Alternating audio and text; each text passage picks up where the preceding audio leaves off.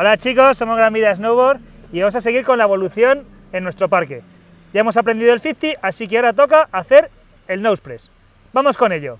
Para este truco es importante que recordemos los gestos que hemos hecho en el 50, es decir, la línea de hombros centrada, nuestros pesos centrados, relajación de la cadera, de las rodillas y de los talones, y la única diferencia que va a ser va a ser que vamos a trasladar nuestro peso hacia adelante según entremos en el cajón, poniendo todo nuestro peso sobre la pierna delantera manteniendo la línea de hombros centrada y mirando el final del módulo para poder salir.